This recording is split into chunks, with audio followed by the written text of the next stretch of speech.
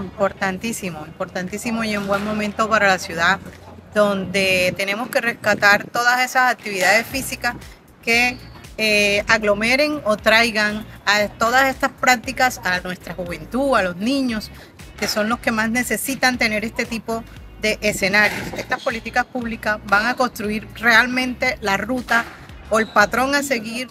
en un tiempo determinado para el crecimiento de nuestro deporte y nuestras actividades físicas, que a quien más van a impactar va a ser a esa juventud que hoy está creciendo y que no encuentran un enfoque para realizar sus actividades físicas que los que les permite salirse de otros horizontes en donde no van a construir, no van a crecer como individuos útiles a la sociedad.